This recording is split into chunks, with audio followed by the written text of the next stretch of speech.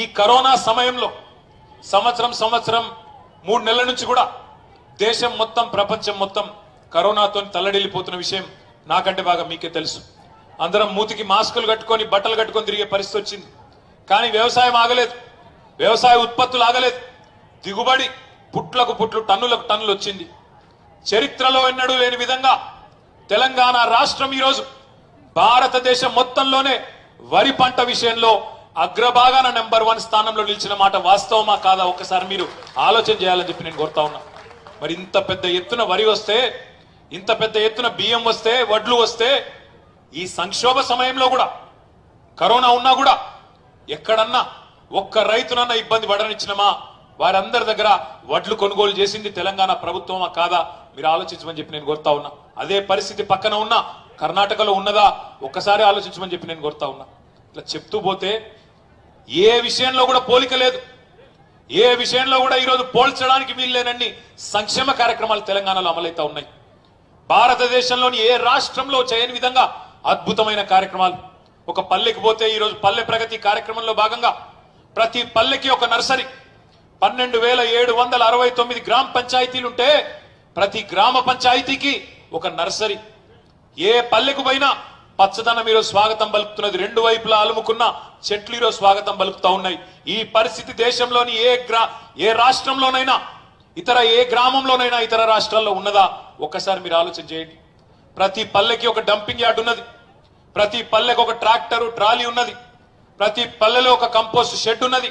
ప్రతి పల్లెలో ఈరోజు పట్టణంలో ఉన్నట్టు ఒక పల్లె ప్రకృతి వనం ఉన్నది. ఈ పరిస్థితి ఎక్కడైనా దేశంలో ఇంకెక్కడైనా ఉన్నదా?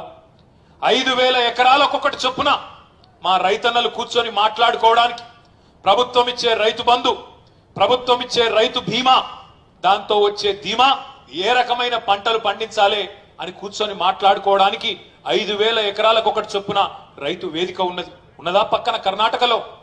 రైతు బీమా ఉన్నదా? రైతు బంధు ఉన్నదా? రైతు వేదిక ఉన్నదా? కానీ మళ్ళీ వాళ్ళే మాట్లాడతారు. అక్కడ ప్రభుత్వాన్ని నడిపే పెద్దలే ఇక్కడ గొంతు చించుకొని మాట్లాడుతూ ఉంటారు ఇక్కడ. గావు గావు గాయ గాయ చేస్తూ ఉంటారు. ఏదో వాళ్ళేదో ఉద్ధరించినట్టు డెబ్బై ఏళ్ళలో మనం ఏదో పాడు చేసినట్టు ఇన్ని పనులు చేస్తుంటే నోటికొచ్చినట్టు విమర్శ చేస్తూ ఉంటారు. ఈరోజు కూడా ఉదయం నుంచి నారాయణపేట పట్టణంలో గౌరవ ఎమ్మెల్యే గారి ఆహ్వానం మేరకు ఒకటి రెండు కాదు కోట్ల రూపాయల సంక్షేమ కార్యక్రమాలు అభివృద్ధి కార్యక్రమాలు శంకుస్థాపనలు ప్రారంభోత్సవాలు పెట్టుకొని ఆ కార్యక్రమానికి విచ్చేసి ఉదయం నుండి తిరుగుతూ ఉన్నాం. రాగానే ఎమ్మెల్యే గారు అన్న నారాయణపేట అంటేనే ఇక్కడ గుర్తొచ్చేది. బంగారము చీరలు రెండు గుర్తొస్తాయన్నా. మరి ఆ చీరలను నేసే మా చేనేత కళాకారుల కోసం మన ప్రభుత్వం ఆ చేనేత కళాకారులను ఆదుకోవడం కోసం ఇప్పటికే మంచి కార్యక్రమాలు చేస్తున్నది.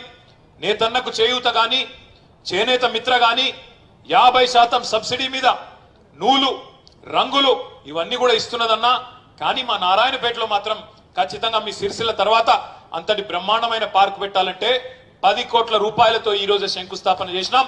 రాబోయే సంవత్సరం లోపలనే బ్రహ్మాండమైన ఆ పార్కును ప్రారంభిస్తామని చెప్పి కూడా నేను ఈ సందర్భంగా మీకు విజ్ఞప్తి చేస్తా ఉన్నా. అదే మాదిరిగా మొన్ననే గౌరవ ముఖ్యమంత్రి గారు ప్రకటించినారు. ఏ రకంగానైతే మా రైతన్నలకు ఆ రైతుకి గుంట భూమి ఉన్నా సెంటు భూమి ఉన్నా ఒక్క పైసా కట్టే అవసరం లేకుండా రాష్ట్రంలోని దాదాపు నలభై లక్షల మంది రైతన్నలకు ఐదు లక్షల రూపాయల ఎల్ఐసి ద్వారా జీవిత బీమా ఇస్తా ఉన్నామో ఐదు లక్షల రూపాయల వరకు అదే పద్ధతిలో రాష్ట్రంలోని చేనేత కార్మికులందరికీ కూడా ఐదు లక్షల రూపాయల జీవిత బీమాను మొన్ననే చేనేత బీమాని గౌరవ ముఖ్యమంత్రి గారు ప్రకటించినారు. దాని వల్ల కూడా నారాయణపేటలోని నేతన్నలకు కూడా అపారంగా ఒక ధీమా వస్తుందనే మాట కూడా ఈ సందర్భంగా నేను మీకు విజ్ఞప్తి చేస్తా ఉన్నా. దాంతో పాటు గతంలో ఇదే నారాయణపేట పట్టణంలో ఏదైనా ఒక ఇంటికి నల్లా కనెక్షన్ కావాలంటే మొదలు నీళ్ళే ఉండేది కాదు. మీకు కాదు. పూర్వ నా- మహబూబ్ నగర్ జిల్లా.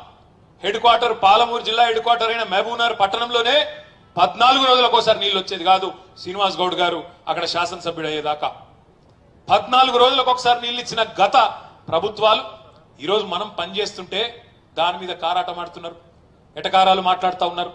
ఈరోజు నారాయణపేటలో నేను గుర్తు చేస్తా ఉన్నా ఈ పట్టణ ప్రజలకి. ఒకనాడు నీళ్ళ కోసం అలమటించిన ప్రాంతం. ఒక ఇంటికి నల్లా కనెక్షన్ కావాలంటే నాలుగు వేల రూపాయలు అధికారికంగా కట్టాలి మళ్ళీ ఇంతనో అంతనో అవినీతి. అట్లాంటి పరిస్థితి. కానీ ఈరోజు నేను చెప్తా ఉన్నా ఇరవై తొమ్మిది కోట్ల రూపాయలతో మీ ఎమ్మెల్యే గారి విజ్ఞప్తి మేరకు గౌరవ ముఖ్యమంత్రి గారు ఏదైతే డబ్బులు శాంక్షన్ చేసినారో ఆ కార్యక్రమం వేగంగా పూర్తయితా ఉన్నది.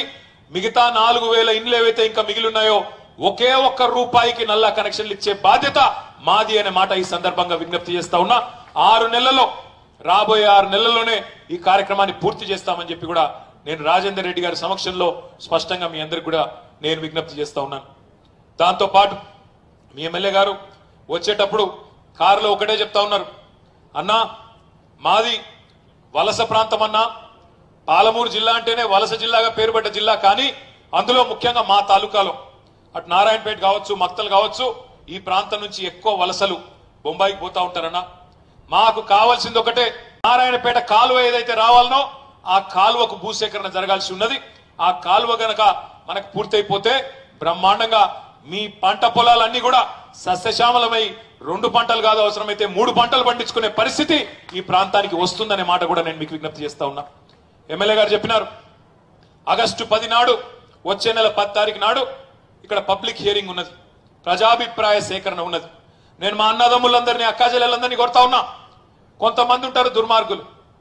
ప్రజాభిప్రాయ సేకరణ అంటే దానిలో కూడా ఏదో ఒకటి చేసి అడ్డుకొని ఆ పనికి భంగం వలిగించి ఈ ప్రభుత్వానికి మంచి పేరు రాకుండా మీకు నీళ్ళు రాకుండా చూసే దుర్మార్గపు పార్టీలు కొన్ని ఉన్నాయి.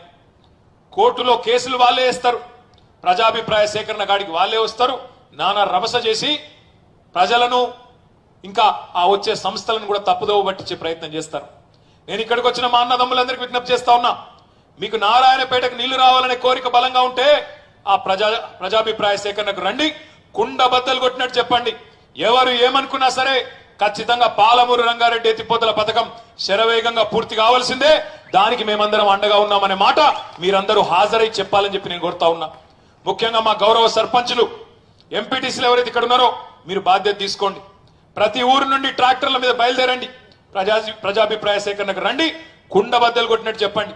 ఎవరెంత అడ్డుపడ్డా ఎవరు ఎన్ని రకాలుగా అడ్డుకునే ప్రయత్నం చేసినా మా నీళ్ళు మాకు రావాలి అనే మాట మన వైపు నుంచి వచ్చినప్పుడు తప్పకుండా ప్రభుత్వానికి కూడా నైతిక స్థైర్యం ఆత్మస్థైర్యం పెరిగి శరవేగంగా ప్రాజెక్టు పూర్తయ్యే అవకాశం కూడా ఉంటుంది. కాబట్టి దయచేసి ఆ విషయంలో మీరందరూ పాల్గొనాలని చెప్పి కూడా నేను విజ్ఞప్తి చేస్తా ఉన్నాను. దాంతో పాటు మిత్రులు రాజేంద్ర రెడ్డి గారు అన్నారు అన్న మా ఈ ప్రాంతంలో మరి భూములు కూడా ఉన్నాయి. కొంత ప్రభుత్వ భూములు కూడా ఉన్నాయి. ఇక్కడ వ్యవసాయ ఉత్పత్తుల మీద వచ్చే ఆహార శుద్ధి పరిశ్రమ అంటే ఫుడ్ ప్రాసెసింగ్ ఇండస్ట్రీ కూడా పెట్టమని చెప్పి కోరినారు. గౌరవ ముఖ్యమంత్రి గారు ఇప్పటికే ఆలోచన చేస్తూ ఉన్నారు. ఇప్పుడే నేను చెప్పినాను వడ్లు పండుతా ఉన్నాయి భయంకరంగా. దేశంలో ఎన్నడూ లేని విధంగా ఈరోజు అగ్రభాగాన తెలంగాణ ఉన్నది. కేవలం వడ్లు మాత్రమే కాదు మరొక వైపు కందులు పత్తి రకరకాల పంటలు ఈరోజు ఆయిల్ పామ్ ఇట్లాంటి ఎన్నో రకాల కొత్త పంటలు మన రాష్ట్రంలో పండేదానికి అవకాశం ఉన్నది. ఇంకా నీళ్ళు రావడంతో సమృద్ధిగా పండే అవకాశం ఉన్నది. మరి ఈ వ్యవసాయ దిగుబడులన్నింటినీ కూడా మన పిల్లలకు ఉపాధి అవకాశాలు సృష్టించే దిశగా మన పిల్లలకే కొలువులు దక్కే దిశగా మన రైతుకు మద్దతు ధర దక్కే దిశగా పరిశ్రమలు పెట్టాలి వ్యవసాయ అనుబంధ పరిశ్రమలు ఆహార శుద్ధి పరిశ్రమలనే ఆలోచన గౌరవ ముఖ్యమంత్రి గారు ఇప్పటికే మాకు ఆదేశం ఇచ్చినారు. పరిశ్రమల శాఖకు వ్యవసాయ శాఖకి Telangana spe- special food processing zones TSFPZ పెడతా ఉన్నాం. అందులో తప్పకుండా ఒకటి నారాయణపేట జిల్లాకు కూడా పెడతామని చెప్పి కూడా ఈ సందర్భంగా నేను మీకు విజ్ఞప్తి చేస్తూ దానిలో కూడా గౌరవ ఎమ్మెల్యే గారిని గౌరవ మంత్రి గారు శ్రీనివాస్ గౌడ్ గారిని కూడా నేను కోరుతా ఉన్నాను. చొరవ తీసుకోండి. వ్యవసాయ మంత్రి గారు కూడా మీకు ఆప్తులు. కాబట్టి మీరు ఎక్కడ పెట్టమంటే అక్కడ మీరు మాకు స్థలం ఇస్తే రెండు వందల యాభై ఎకరాలకు తగ్గకుండా స్థలం ఇచ్చినట్టయితే తప్పకుండా దాన్ని టేకప్ చేస్తామని చెప్పి కూడా నేను విజ్ఞప్తి చేస్తా ఉన్నాను. కలెక్టర్ గారిని కూడా నేను కోరుతా ఉన్నాను. వెంటనే ఆ ప్రతిపాదన పంపాలని చెప్పి కూడా విజ్ఞప్తి చేస్తా ఉన్నాను. దాంతో పాటు ఇప్పుడే మిత్రులు చెప్తా ఉన్నారు. కొత్త రాష్ట్రం రావడమే కాదు తెలంగాణ. వచ్చిన రాష్ట్రంతో పాటు కొత్త జిల్లాలు వచ్చినాయి మీకు. రాష్ట్రం వచ్చింది పరిపాలనా సౌలభ్యం కోసం కొత్త జిల్లాలు. పూర్వం మహబూబ్ నగర్ జిల్లా ఒకటి కానీ ఈరోజు ఆ మహబూబ్ నగర్ జిల్లా ఐదుగా విభజించబడ్డది. మొదలు నాలుగే ఏర్పడ్డాయి. నార్ కర్నూలు వనపర్తి గద్వాల పాలమూరు. కానీ మీ రాజేందర్ రెడ్డి గారి పోరాటం రాజేందర్ రెడ్డి గారు ముఖ్యమంత్రి గారి దగ్గరికి పలుమార్లు వెళ్ళి విజ్ఞప్తి చేయడం వల్ల రామ్మోహన్ రెడ్డి గారు రాజేందర్ రెడ్డి గారు ఇద్దరు కూడా కలిసి ఈరోజు కొద్దిగా లేటుగా వచ్చినా నారాయణపేట జిల్లా కూడా ఏర్పాటైందంటే దానిలో ఖచ్చితంగా రాజేందర్ రెడ్డి గారికి రామ్మోహన్ రెడ్డి గారికి ఇద్దరికి కూడా తప్పకుండా వారి భాగస్వామ్యం వారి పాత్ర క్రియాశీలమైన పాత్ర ఉందనే మాట కూడా నేను మీకు విజ్ఞప్తి చేస్తా ఉన్నా.